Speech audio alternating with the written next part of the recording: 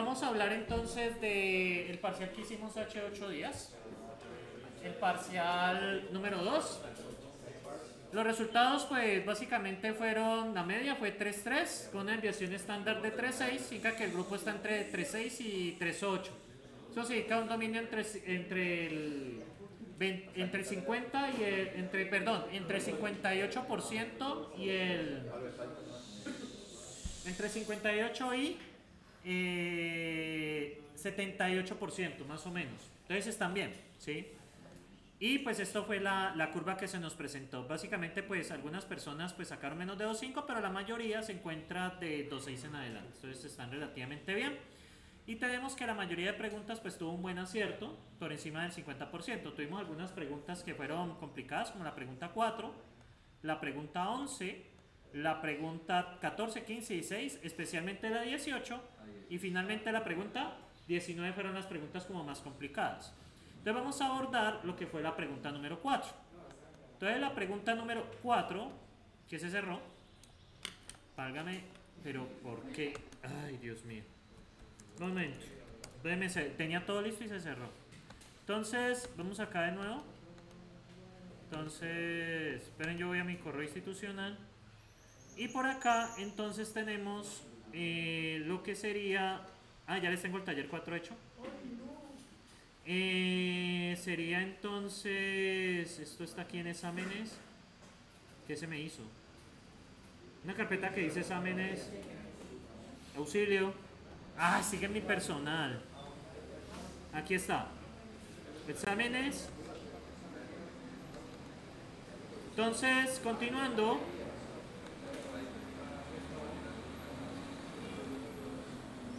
Vamos entonces con la solución del parcial.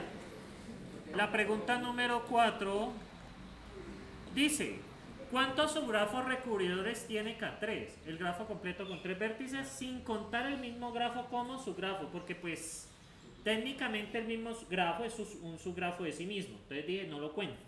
Entonces resulta que un subgrafo recubridor tiene la característica que tiene el mismo número de vértices. Entonces lo que tienen que jugar es eliminando aristas. ¿Cuántas posibilidades hay eliminando una arista? Tres. ¿Cuántas posibilidades hay eliminando dos aristas? Tres también. ¿Cuántas posibilidades hay eliminando todas las aristas? Una. ¿Tres más tres más uno? Siete. ¿Preguntas? No. Bueno. Luego está más claro que el agua. Bueno, eh, entonces, bueno, ya para las personas que fallaron allí, pues ya saben cómo es la... cómo es el negocio. Sí, cómo es eh, la vaina. Bueno, esta del resto de preguntas estuvieron bastante bien. Vamos con la pregunta 11. La pregunta 12 pues tuvo 46%. La pregunta 11 de qué trataba. Entonces vamos acá. La pregunta 11 era ¿qué afirmaciones verdaderas sobre los isomorfismos? Bueno, esta pregunta está un poco, digamos que solapada, pero bueno. Un isomorfismo de grafos es una función billetiva entre los vértices que preserva la existencia de aristas. A la larga esa es la definición, ¿sí? Que es una función eh. O sea que un isomorfismo es invertible. Bueno, dos grafos son isomorfos y tienen la misma cantidad de vértices y aristas. Sí, pero tienen que mirar cómo están conectados. Por eso le puse un 25%. Dos grafos son isomorfos y tienen la misma secuencia de grado. Mitad. ¿Por qué? Porque sí, eso es parte de la verdad, pero ¿qué hace falta? Debe existir una función billetiva. De hecho, la función billetiva es lo más importante. Un isomorfismo de grafo es una función que mapea los vértices de un grafo de forma aleatoria, eso no tiene ningún sentido. Y un isomorfismo de grafos siempre conserva los bucles y aristas múltiples. Sí, es cierto, pero ¿qué hace falta? El mapeo, ¿sí? ¿Listo? El mapeo.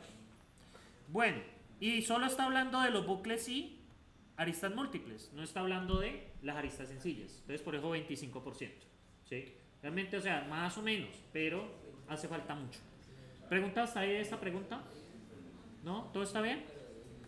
Bueno, vamos entonces por acá con las siguientes. Las siguientes preguntas fueron la 14 de la 16. De la 14 de la 16, ¿qué me indica? De la 14 de la 16, si ustedes miran, la 14 nos dice, del algoritmo Distra se tiene la siguiente afirmación. Si tenemos un grafo ponderado con aristas positivas y negativas, está hablando del peso, el algoritmo Dijkstra proporciona el camino de más correcto desde un nodo de inicio hasta todos los demás nodos. Resulta que el algoritmo de Dijkstra tiene una premisa, que cuando usted ya ha llegado a un vértice están calculados todos los caminos mínimos hasta ese vértice. Si existe una arista negativa, ¿cuál es el problema? Que puede existir un camino de menor costo. ¿Sí? Porque si usted, si usted se devuelve por una arista negativa, ¿qué pasa? Pues va a reducir siempre el costo. Entonces, el algoritmo no trabaja, de hecho, se te va a quedar en un, en un bucle infinito. ¿Esta afirmación es correcta? Sí, porque para empezar, las de sí ya están muertas. ¿Sí? No, porque el algoritmo de Dijkstra no puede manejar pesos de aristas negativas debido a que puede quedarse en un ciclo infinito. Una arista con peso negativa podría provocar que un camino previamente calculado como mínimo ya no sea el más corto. ¿Sí? Lo que contradice que una vez que se determina la distancia más corta a un nodo vértice, esa distancia nunca cambia. Se supone que cuando usted ya tiene el mínimo a un lado, ya está, no hay que hacer más. Y no porque el algoritmo solo proporciona el camino más corto desde un nodo inicio a un nodo final específico y no calcula necesariamente los caminos más cortos a todos los demás nodos. Eso es mentira porque se calcula de uno a muchos. ¿sí? 25%. ¿sí? Le puse a eso. Y ninguna de las anteriores, pues suerte no. Vamos con la 15. ¿Cuál es la principal ventaja de utilizar el algoritmo de Distra en comparación a otros algoritmos de búsqueda en caminos mínimos en un grafo con pesos no negativos? De hecho, ahí le están sapeando que no deben ser negativos. Permite encontrar todos los caminos posibles de un vértice a todos los vértices. Todos los caminos posibles, eso es mentira. Es el más corto. Encuentra el camino más corto desde un vértice de origen a los demás vértices en el grafo utilizando una cantidad de proporcional número de vértices y aristas, suponiendo que el grafo está representado con una lista de adyacencia. esa última parte sobraba, pero pues aquí está. no tiene el micrófono Sí, no, en el MIT no. Pero en el, la grabación sí. Sí, porque no nos produce eco.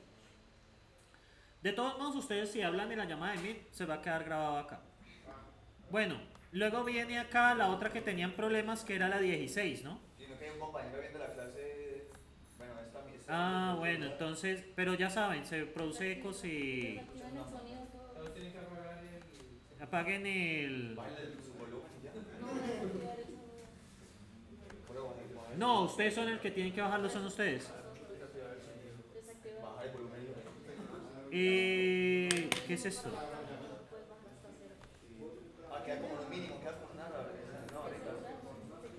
Eh, muchachos, para que, muchachos, para que no suceda eso, de que yo tenga que autorizarlos a entrar por correo, Univalle, ¿vale? Sí, porque si no, voy a recargar aquí la llamada y ya va. Esperen, yo activo el sonido desde acá. Yo activo el sonido desde acá. Listo.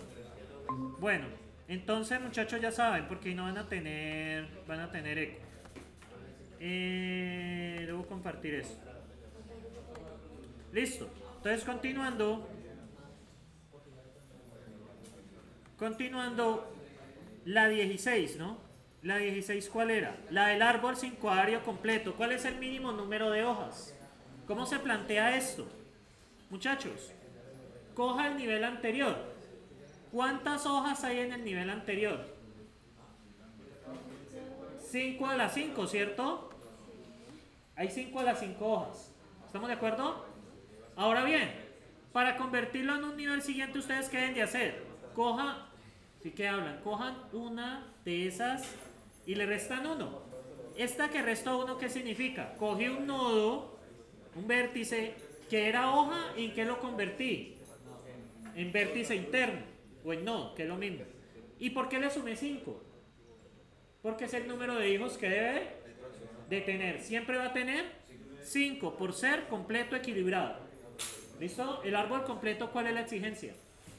¿Cuál es la exigencia del árbol completo? Que tiene que tener exactamente m m hijos. 5 a la 5 del nivel anterior, menos el que quitamos, van los que agregamos. Da 3129. ¿Listo? Listo. Esa pues sí fallaron mucho. Vamos entonces con la siguiente. Con la 18 y con la 19, especialmente la 18, que nadie le pegó. La 18 se tiene un 10 árbol completo, equilibrado, con una altura de 5. ¿Cuál es el número máximo de vértices internos? El número máximo de vértices internos se da cuando ya tenemos absolutamente todas las hojas. Entonces, la raíz 10 a la 0. Los primeros hijos 10 a la 1. Los hijos de los hijos 10 a la 2. El siguiente nivel 10 a la 3. Siguiente nivel 10 a la 4. ¿Cuántas hojas va a tener este árbol? 10 a la 5. ¿El resto qué son? Vértices internos. ¿Estamos de acuerdo? Nivel 0, 10 a la 0, que es 1. Siguiente nivel, 10 a la 1. Hay 10 hijos de la raíz. ¿Cuántos hijos tienen los hijos de la raíz? Pues tienes 10 y cada uno tiene 10. ¿Cuántos serían? 100.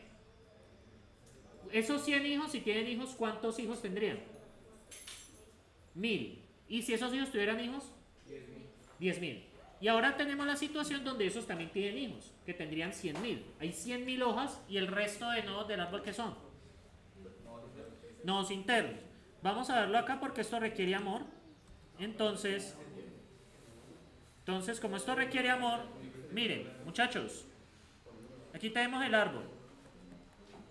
Entonces, este pasa a ser vértice interno, sería 10 a la 0. Cuando estos tienen hijos, ¿cuántos hijos hay acá? Muchachos, ¿cuántos vértices internos hay acá? 10 a la 1. Si estos hijos tienen hijos, obviamente los estoy colocando así porque esto no nos cabe. ¿Cuántos habrían aquí? 10 a la 2. Si estos señores tienen hijos, ¿cuántos hay aquí? 10 a la 3. Si estos niños tienen hijos también, ¿cuánto habría acá? 10 a la 4. Vamos con la altura. 0, 1, 2, 3, 4, 5. Y les pregunté, número máximo. ¿Significa que toda esta gente cuenta? ¿Sí? Número máximo de hijos. ¿Ve? Número máximo de vértices internos. Entonces, el número máximo de vértices internos, pues sume nivel 0, más nivel 1, más nivel 2, más nivel 3, más nivel 4. Definición de vértice interno. Tiene hijos. ¿Estamos ahí? Era un punto de pensarlo. Eso da 10.000 más 1000 más 100 más 10 más 1. Da 5 unos. 1, 1, 1. Ahora, si yo les dijera, listo, quiero el número mínimo de vértices internos, ¿cómo sería? Hasta llegar a la 4 sería. No 10 a la 4. Supongan, esto no existe. Entonces, entonces vamos al número máximo. Entonces, ¿qué pasaría, muchachos? Este sería el único que tendría hijos. ¿Estamos de acuerdo? ¿Cuánto sería el número mínimo de vértices internos? 10 a la 4 menos 1. Ah, no, esperen. No porque, esperen, aquí está mal el análisis. 10 a la 3 más 1. Muy bien. 10 a la 3 más 1. ¿Por qué sería 10 a la 3 más 1? Eh, porque ustedes tendrían, todos los 10 a la 3 tendrían hijos. ¿Estamos de acuerdo? Los de 10 a la 4 serían hojas, excepto uno, que sería el que tenía 10 hijos. Entonces tenemos 10 a la 3 que todos son hijos. Y el de la 4, entonces sería 10 a la 0 más 10 a la 1 más 10 a la 2 más 10 a la 3 más 1. Ese es el número mínimo de vértices internos. ¿Vale? De puro análisis. ¿Vale? Podría preguntarlo en el opcional. Por cierto, no se han inscrito. ¿Se van a inscribir? No, porque pues si nadie inscribe, yo hago la clase de 4 horas. ¿Eh? No. ¿Ah? Nadie, nadie inscrito. ¿Ah? Pero ¿por qué miedo? Eso es hacerlo y ya. El que, ¿cómo es que se, el que, el que no viva? Que tenga a morir, el que no viva. Bueno, muchachos, quedó claro por qué es 10 a la 1 más 10 a la 2 más 10 a la 3 más 10 a la 4. Y si pregunto el, el número mínimo, sería 10 a la 1 más 10 a la 2 más 10 a la 3 más 1. Porque 1 de 10 a la 4 se nos transformó en nodo interno. Recuerden que nodo interno son aquellos que tienen hijos. Acuérdense de este análisis porque en algoritmos van a necesitar de eso. Y ya como el curso quedó más amplio, ya la ultra mega diversión. Porque ya uno se puede extender en los temas y puede profundizar mucho más. En FADA me gusta profundizar, pero tengo la limitante del tiempo. Pero como ustedes ya tienen dos cursos, uno puede ya profundizar bastante. Y hacer cosas muy interesantes. Y como ustedes están en quinto, en ese punto, ya se les puede pedir aún más. Sí. Ya el otro semestre les puede subir un poquitico la barra. ¿Sí? Ya les confirmaré si me dan el curso de, de funcional, porque si me lo dejan a dar, pues ya, ya tengo la idea para el curso. ¿Ah? No, es, Profe, yo prefiero que usted dé funcional a un social. Profe, ¿qué le vamos a ver? Eh, está entre Scala y Haskell. Tengo que negociar con el profe de Cali. Pero pues cuando me confirmen el curso, pues ya lo pedí directamente. Y cuando me confirmen el curso les cuento. Tengo que negociar con el profe de Cali. ¿Ah? ¿Cómo? El de funcional. Bueno, muchachos. eh, quedó resuelto el tema de... ¿Quedó resuelto el problema de este 8%? ¿Ya lo pueden hacer? Bueno, espero en el opcional mejore la, la cosa. Y tenemos el 19, que fue la otra pregunta problemática.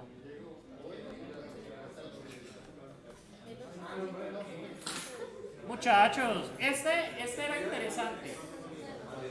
Muchachos, este era de puro análisis. Yo les pregunto, en un árbol de, en una búsqueda de amplitud, en un árbol binario completo de altura 4, ¿cuál es el tamaño máximo que puede alcanzar la cola? Resulta que cuando exploramos el primero tenemos un primer nodo, que sería 2 a la 0. Cuando agregamos a los hijos de la raíz tendríamos 2 a la 1. Cuando agregamos los hijos de los hijos de ellos sería 2 a la 2. Los hijos de los hijos 2 a la 3 y sería 2 a la 4. Ya. Eso era todo. El de búsqueda por profundidad, Toria, preguntarlo cuál es el tamaño máximo de la pila. Y le doy una pista.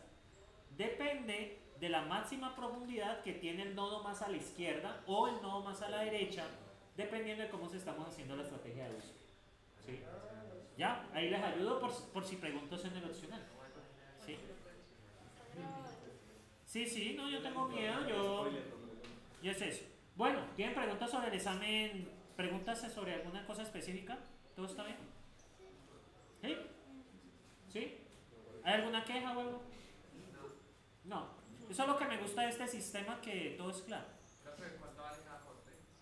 Eh, pues es complicado porque como los porcentajes están, pero es 20% cada examen. Ustedes ya pueden revisar en el campus virtual, calificaciones, ahí ya está la nota definitiva.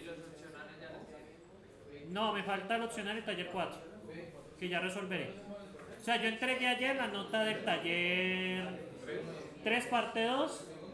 Bueno, me falta taller 4 parte 1 que hicieron aquí en clase, taller 4 parte 2 que voy a explicar ahora, taller y taller 5 que se entrega el 10 de julio, 12, 10 o 12 de julio. El que vamos a hacer pues esta semana es. Sí, sí, sí, sí. Sino que va a ser algo diferente. Yo no les voy a dejar que me entreguen cualquier cosa.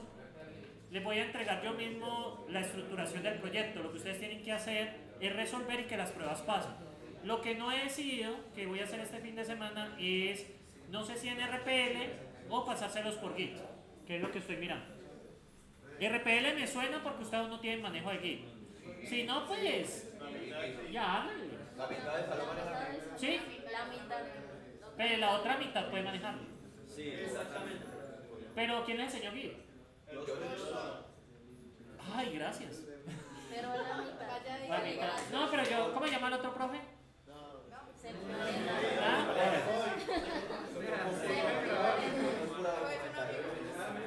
Bueno, listo muchachos. Entonces aquí están los... dime. Pues realmente el proyecto final está oculto en los dos últimos talleres. No se preocupe por eso. Pues está partido en dos. Yo les había dicho que los dos últimos talleres eran como un mini proyecto partido en dos. Ah, había donde se ponía con- pero para otro curso, ¿no? Igual, Valle Pro, algo así, un lenguaje. Ah, sí, ahorita se llama Univalle Fun Pro 2023. Sí, eh, más o menos es que, pero yo no sé para ustedes, como ustedes van a hacer inauguración de curso en FLP, entonces yo creo que voy a inventar un proyecto diferente. Ellos fueron cierre y ustedes son arranque. Entonces voy a ver qué me invento. Ellos fueron cierre y me inventé ese lenguaje funcional. Gracias a ChatGPT que me dio la idea. Porque es que yo le dije a ChatGPT, yo ya hice esto, esto, esto y esto y ya no quiero repetirlo más. Y me dio una idea y ve, sí, entonces la pude adaptar. Me ha, me ha gustado mucho la herramienta porque me desbloquea. De hecho, muchachos, el parcial de ustedes, parcialmente, parcialmente hecho los ChatGPT. ¿Qué tal, qué tal la experiencia? Obviamente, ChatGPT es una herramienta más y pues hay que usarla en ese sentido. No es que te reemplace a ti, sino que es como tener a alguien que te da sugerencias, básicamente. ¿Ah? Es un asistente, sobre todo para física es espectacular. Ahí les estuve explicando a los de FLP cómo usarlo para física. Sí, usted puede colocarle el ejercicio y usted le, y usted le especifica, vea, eh, por ejemplo, se, eh, se lanza una pelota en una superficie con tanto inclinación, con tanto coeficiente de fricción y con tanta velocidad inicial. ¿Cuánta distancia recorre? Eso es un problema clásico de física. Y se lo hace. Sí, y te lo ha explicado paso a paso. Obviamente usted con el criterio a veces se equivoca, usted con criterio tiene que saber si está bueno o está mal. Pero Pero por lo menos me puede guiar con los pasos. pues. sí, puede guiarlo con los pasos. Ahora, usted si está malo, usted le puede decir, vea, es que está malo aquí, y te lo explica bien.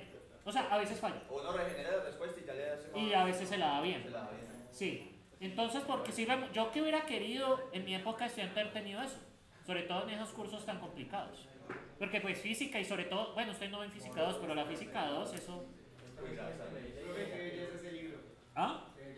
Sí, el, el de Serway. Sí, no es el libro, gracias al libro pasé física. Muchachos, en el peor que les fue, fue en árboles y algoritmos, promedio 2.8, desviación estándar 1.62, por los dos lados. Un promedio bajo indica que el dominio del curso, pues en promedio es bajo.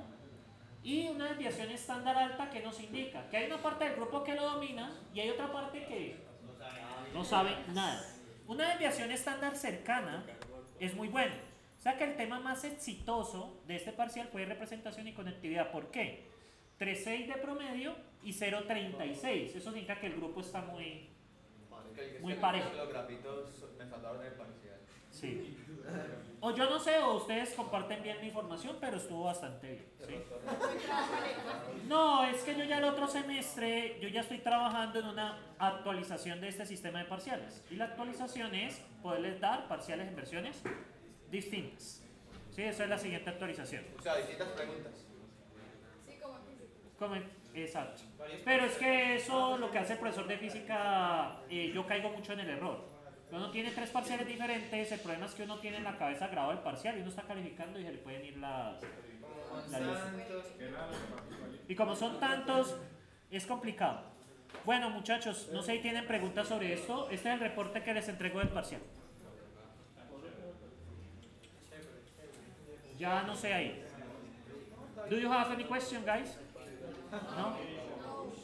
¿No? ¿Todo bien? Listo.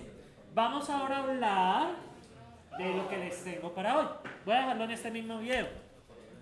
La palabra de... Bueno, no me comprometo, pero podría hacerles una solución en Java, sino que depende del tiempo. Una pregunta. Sí. ¿Cierto que en el YouTube los videos, los títulos están trocados? ¿Por qué?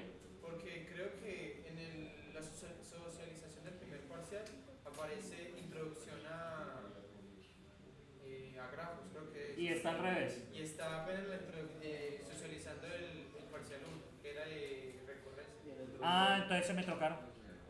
Bueno, ya corrí, eso lo puedo corregir ahorita en el descanso. Bueno, vamos a hablar de cosas amorosas.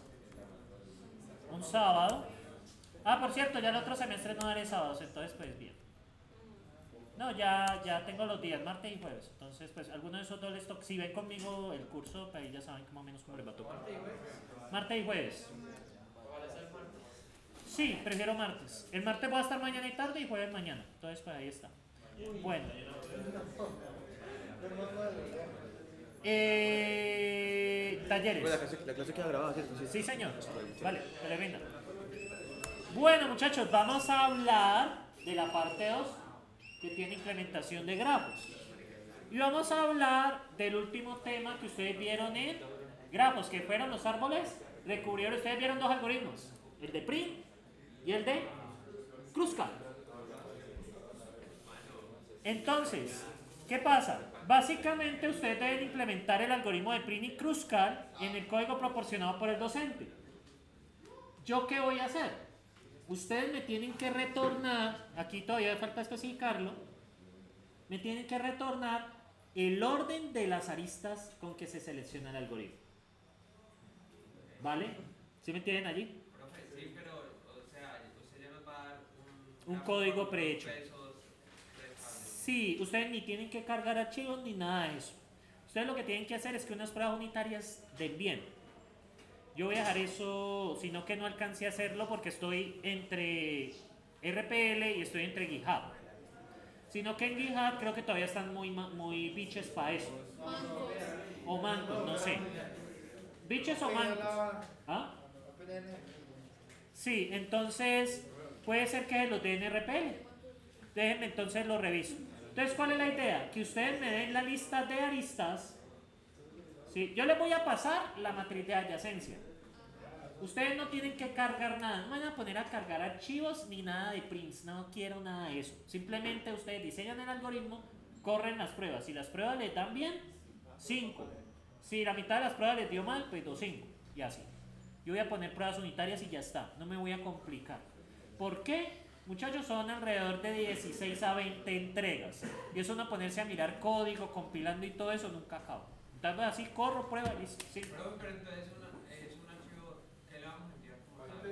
No, ustedes, me- ustedes solo tienen que editar un archivo en Python y el bloque de código y ya. O sea, yo les doy la función y la función va a ingresar la matriz de adyacencia. Entonces van a haber dos funciones, print y crucial. Y esas que van a re- re- devolver, van a devolver listas de listas. Donde es una lista de dos posiciones, donde está el vértice inicial y el vértice final. Listas de aristas. Ajá. Sí, y- De Cali a Tuluá hay tantos premios. Exacto, y la lista de aristas, eso es todo. ¿Vale? Son dos funciones. Pero digamos, puede poner como la respuesta esperada para que uno lo pruebe antes de. Sí, obvio, porque usted, usted, o sea, ustedes lo que van a tener es, usted le dan ejecutar y ejecutar las pruebas unitarias. Si todo es verde, ya, sale, ya eso es todo. Eh, ¿Por qué lo hago así? Primero que todo, pues, tema de lecturas de archivo y todo eso, para eso está Joshua, ¿sí? Y el profesor Casas, para eso están ellos. Y segundo, yo solo necesito que implementen bien el algoritmo. Además, esos algoritmos son bastante sencillos. Sino que allí les va a tocar jugar es con recorrer las aristas. O sea, les va a tocar ingeniarse la forma que yo le entrego la matriz de adyacencia y bueno, ¿y cómo encuentro la arista de menor peso? Ahí le toca hacer condicionales, condicionales le toca hacer búsquedas y todo eso. Hay una manera de hacerlo eficiente, pero ustedes son libres de hacer triple for, cuádruple for, me da igual. Sí. 5 for, o sea, como quieran. Las aristas van a estar numerados desde 1 hasta n, ¿sí? La, y van a estar en el orden que llegan en la matriz de adyacencia. La primera fila es la matriz, es el vértice 1. La segunda fila es el vértice 2.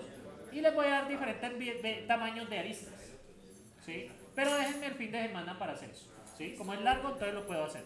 La entrega de eso es para el... Para el 19 o el 20. Decía el 20, Y creo que el 20, 20 de junio, eso cae en martes. pero para el 21. Regalito. No, porque tienes que celebrarlo. Entonces, muchachos, de nuevo, trabajar solos, solas, tiene una penalización de punto 5. Competencia genérica número 3. El estudiante estará formado para trabajo en equipo. Competencia genérica. ¿Ah? ¿Cuántos es el equipo? Eh, yo diría que hasta 4. Cinco. ¿Por qué 5? Porque siempre hemos sido cinco. Somos cinco y siempre hemos sido cinco. ¿Y cuánto, a cuánto yo lo he dejado? En cuatro. No, nos ha hecho partir. Hagamos una cosa. Hay un algoritmo adicional que es para también para caminos mínimos. Que lo que los de 5 Entonces los de 5 que hagan ese algoritmo adicional. Ese sería el negocio. ¿Listo? O sea, hasta de 4 con los dos algoritmos. E implementar el tercero con, eh, si son de 5. ¿Listo? Igual esos algoritmos son siempre busca la lista mínima y empieza a formar el árbol. Siempre lo mismo. ¿Preguntas, sentimientos? ¿Todo está bien? ¿Tiene hambre? ¿Miedo? ¿Frío? ¿Ah? Eh, pero mucha pena ha pasado una hora. Hombre.